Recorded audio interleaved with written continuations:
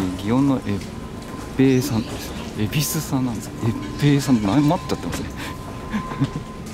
なっちゃってます。福の神要はのこういうことです。よくわかんない方はこういうことです。そ うああって感じだと思うんですけど。